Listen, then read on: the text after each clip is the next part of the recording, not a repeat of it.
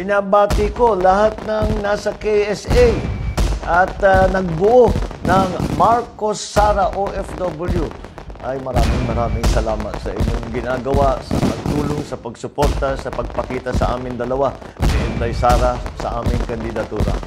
Maraming maraming salamat sa inyo at ah, sana naman eh, yung lagay-lagay ninyo sa Saudi Arabia ay maganda pa rin at ah, maganda pa rin ang mga pwesto ninyo at ah, maayos ang inyong kabuhayan dyan. Kaya't ako'y babati muna ng isang Merry Christmas at saka Happy New Year sa inyong lahat. Maraming maraming salamat.